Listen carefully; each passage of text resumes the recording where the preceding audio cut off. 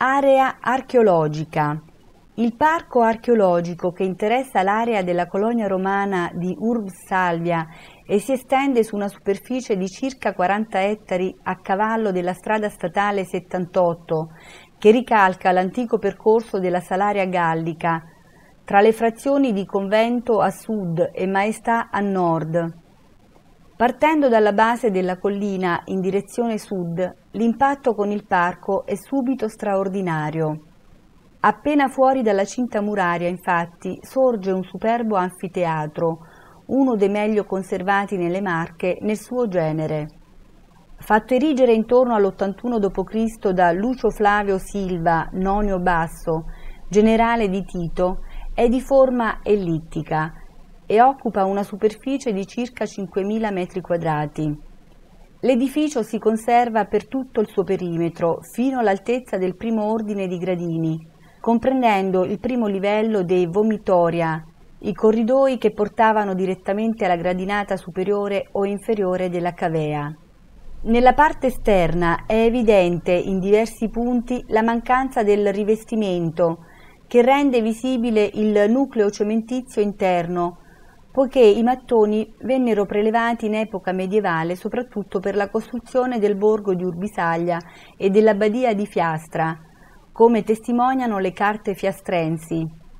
Una raccolta di 3.194 pergamene conservate presso l'Archivio di Stato a Roma e contenenti atti testamentari, donazioni, norme disciplinari e altri documenti che abbracciano sei secoli di storia del territorio. Così come l'anfiteatro, anche le vicine mura costituiscono uno degli esempi di fortificazioni fra i più appariscenti e meglio conservati dell'intera regione. La loro costruzione risponde più che a necessità difensive ad una volontà di autoaffermazione e autorappresentazione della città. Il circuito murario, lungo circa due chilometri e mezzo, ma oggi visibile solo in parte, prevedeva diverse torri di guardia, poste l'una dall'altra all'incirca la distanza coperta da un tiro di freccia, 40 metri. Due erano le porte d'ingresso dell'antica città, la porta nord posta in fondo ad un cortile trapezoidale in modo da riuscire a colpire chi avesse cercato di superare la porta non solo di fronte o dall'alto, ma anche dai due fianchi, nei pressi della quale si trovano i resti di due monumenti funerari a torre, che contenevano l'urna sacra con le ceneri del defunto, e la porta Gemina, posta fuori dal percorso di visita, sui ruderi della quale nell'Ottocento venne costruita una casa colonica.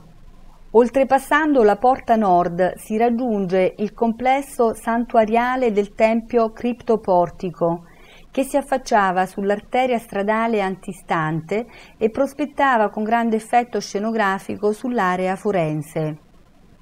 Il tempio a pianta rettangolare con sei colonne sulla fronte delle dimensioni di circa 16 x 30 metri era dedicato alla Salus Augusta, intesa come divinità protettrice dell'imperatore, e di esso attualmente si conservano solo parte del podio e le tracce dei muri divisori interni.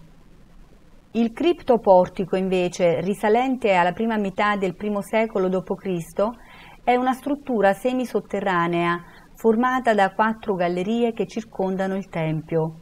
Le gallerie erano interamente decorate ad affresco e il braccio meridionale, aperto alle visite, permette ancora di apprezzare le interessanti decorazioni pittoriche di età tiberiana, riferibili al terzo stile pompeiano e divise su tre fasce, delle quali quella superiore quasi completamente perduta.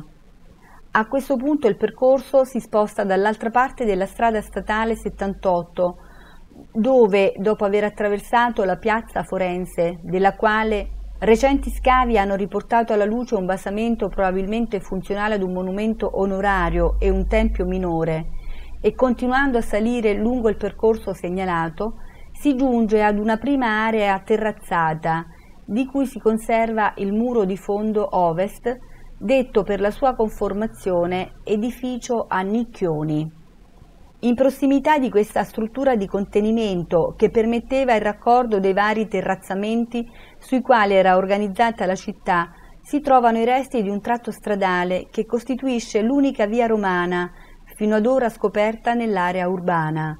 Salendo ancora, svoltando a destra, si costeggia la cinta muraria che riconduce rapidamente alla statale 78, mentre proseguendo dritti si arriva in un secondo terrazzamento che ospita un bellissimo teatro, fatto costruire da Gaio Fufio Gemino negli anni precedenti il 23 d.C.